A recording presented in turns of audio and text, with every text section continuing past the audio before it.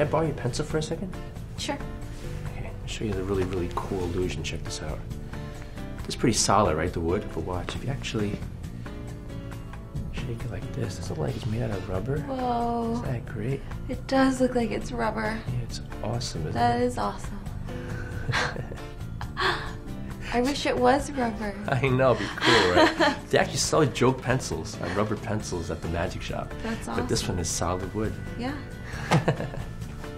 awesome. Thank you. Okay, here's the explanation for the rubber pencil trick. Um, this is very, very simple. You could do this actually um, with any pencil. And what you need to do is you're going to hold the pencil between your thumb and your index finger.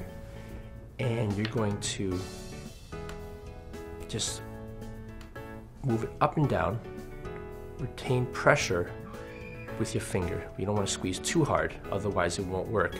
Very loose, so it's actually swinging back and forth on your fingers. It looks like rubber. The illusion is perfect. You can do it right in the middle if you want. And this looks like it's just pure rubber. I like to do this and then drop it on a table. Everybody swears it's those rubber pencils you buy from the magic shop. It actually works with um, pens, rubber pens, and also you could use a, a marker.